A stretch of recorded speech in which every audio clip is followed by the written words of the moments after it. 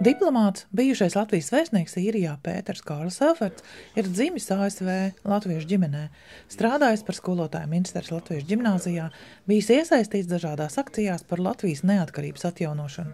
Par to viņš 1989. gadā tika izraidīts no Latvijas, bet pēc neatkarības atgūšanas atgriezās tur jau uz palikšanu. Pieteikuma vēstulē par Pēteru Elfartu ir rakstīts, ka tieši ar viņa gādību no pavisam bikliem latviešu sabiedriskās dzīves aizmetņiem tika veidotas un iedibinātas lielākā daļa stabilo latviešu kopienas tradīciju Zaļajā salā. Pirms es um, biju vēstnieks, jā, es piecas gadus biju vēstnieks Eiropas padomē Strasbūrā. Un tur tā Eiropas padome ir startautiska organizācija, Un, un tur nedēļas nogals bija pārsvarā brīvs, vai arī bija reizēm kaut kādas nu, latviešu lietas bērzainē vai, vai savādāk. Bet principā bija ļoti, ļoti maz saskarsmes ar, ar latviešiem, jo Strasbūrā arī ir ļoti maz latviešu. Mm. Un hops uz īriju bija pilnīgi, pilnīgi savādāk. Tur bija visu laiku darbs ar, ar latviešiem, kas bija bezgalīgi interesanti. Un, kā es jau arī uh, teicu toreiz, ka uh, man bija tā unikālā iespēja ieskatīties jūsu nākotnē. Mani vecāki aizbrauca uz Ameriku un sāka dibināt latviešu organizācijas, teātris grupas, tautsteika, ansambļus, korus un tā tālāk.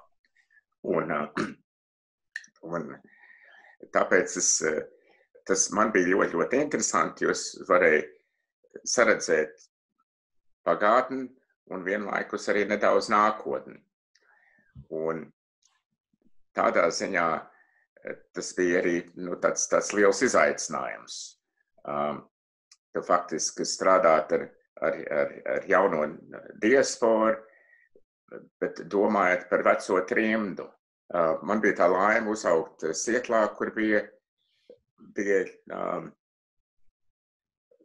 dažādas organizācijas. Bija Sietlas Latvijas jaunas apvienība, bija volejbola komanda, bija basketbola komanda, futbola komanda, teātris, un tad katrs varēja atrast savu, savu nišu, kā saglabāt latvie, latvietību vai atrast savu grupu, ar ko draudzēties.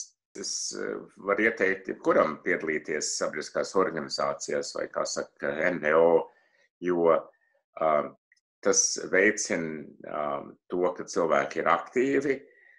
Vien pirmajā reizē tu esi biedrs, otrā reizē tu jau kaut kādā sapulcē uzdod kādu jautājumu, nākamajā reizē tu jau vari pretendēt uz amatu, un, un tas, tas ir ļoti svarīgs cikls, kā tu vari arī iegūt ne tikai dzīves pieredzi, bet darba pieredzi, kas man, piemēram, turēja pie latviešiem.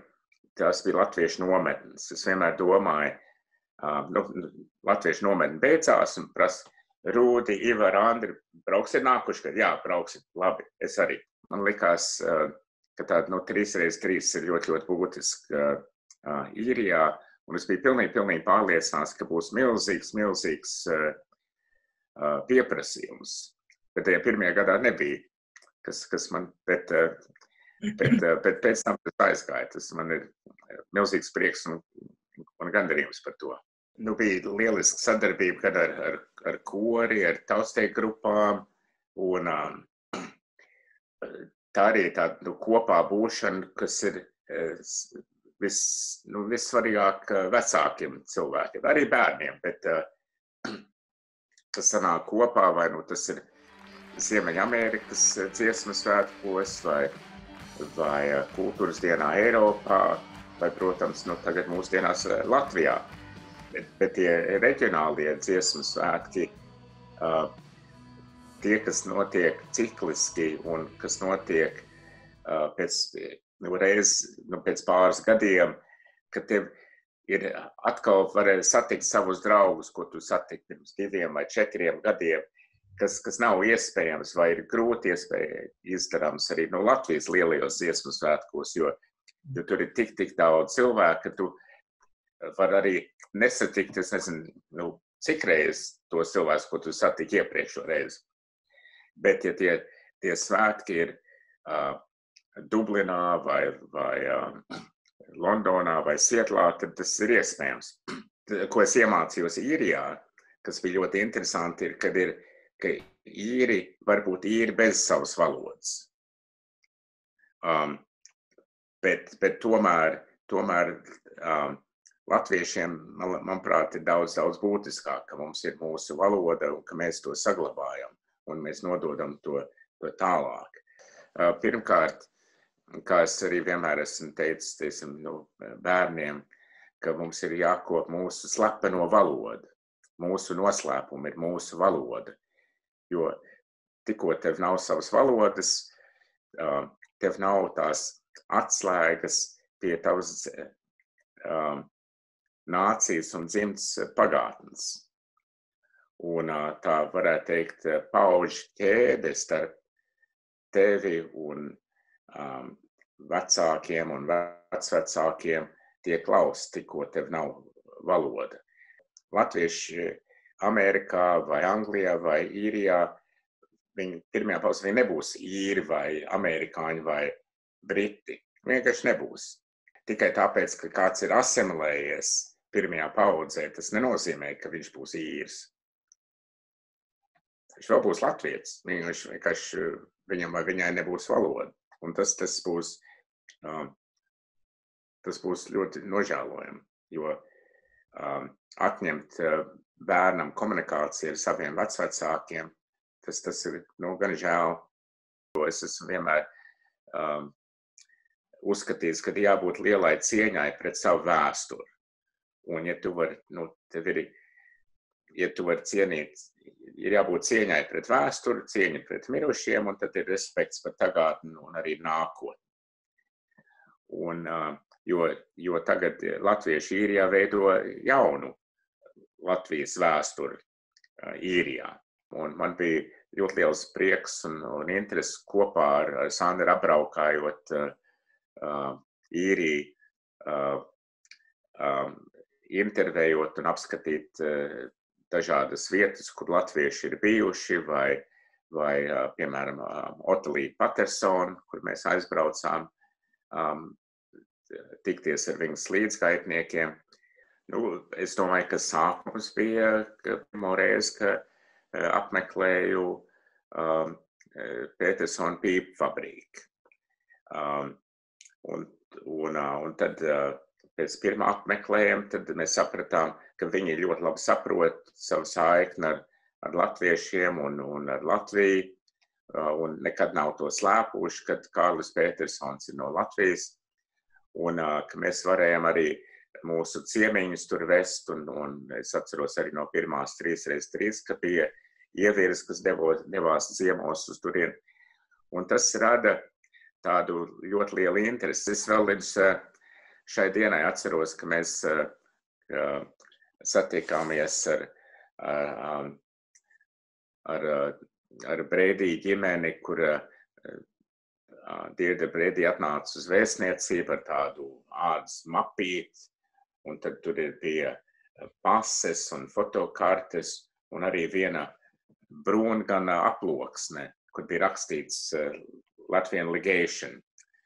Un no tās brūnās aploksnes tur bija uh, oriģinālās kopijas no tā, ka Brita valdība atzīst mūsu pagaidu valdību no 18. gada 11. novembra.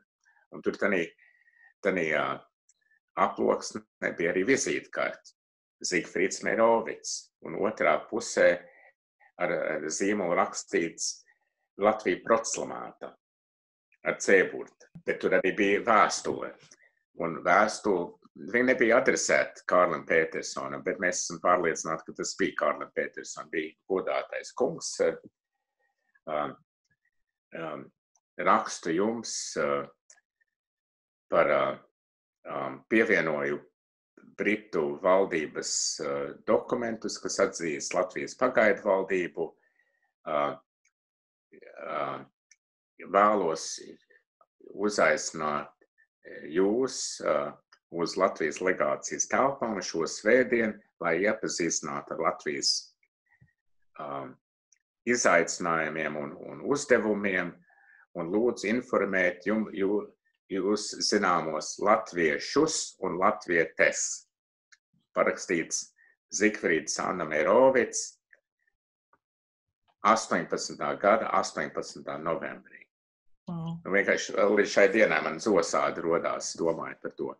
Cīņa par neatkarības saglabāšanu, tas mums ir visiem. Uh, es gribētu sākt ar to.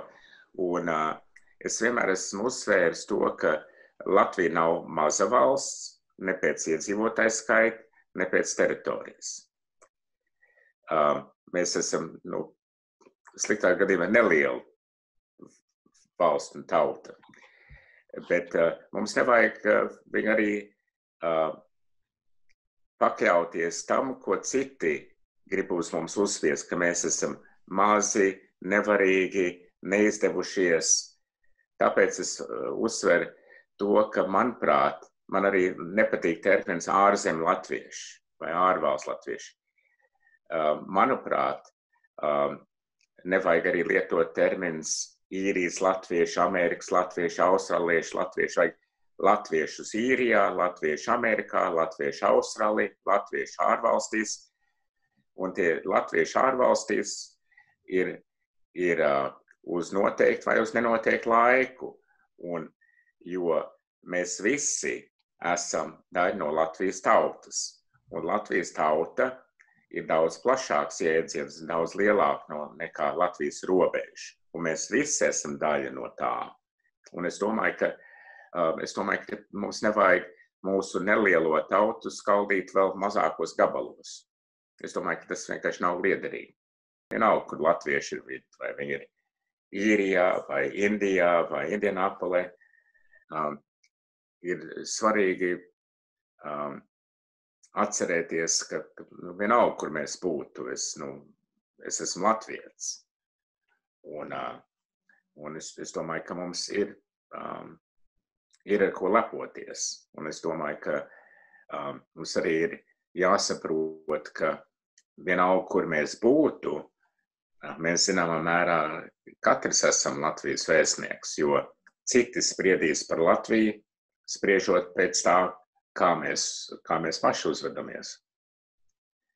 Un tā ir atkal tā ir, um, cieņa pret tās vietas, no, no kurienes mēs nākam, bet arī tā ir liela atbildība.